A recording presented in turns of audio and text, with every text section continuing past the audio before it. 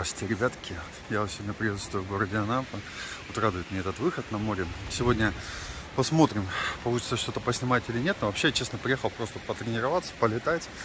Это, кстати, муха воскрешенная.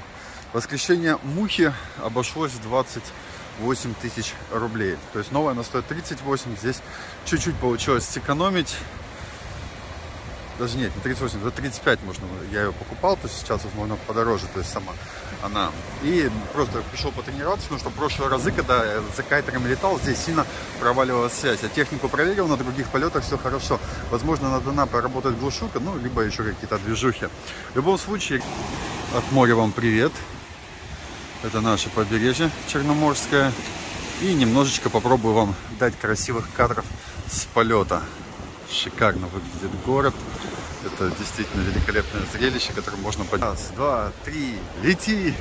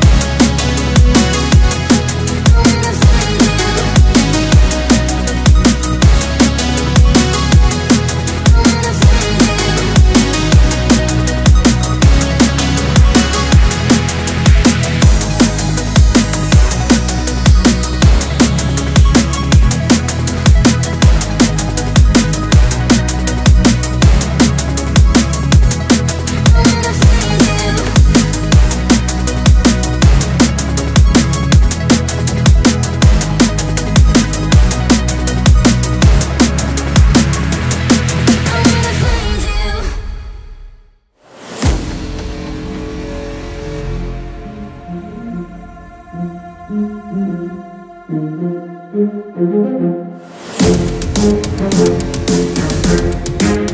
you.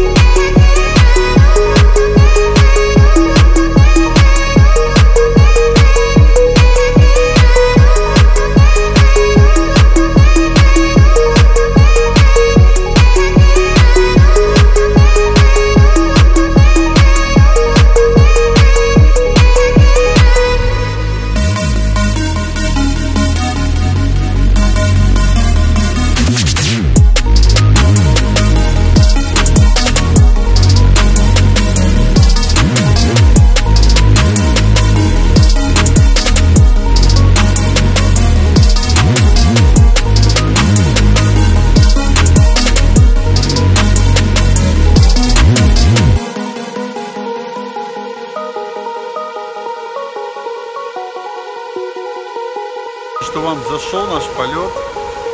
И хороший комментарий меня под видео ждет. Да?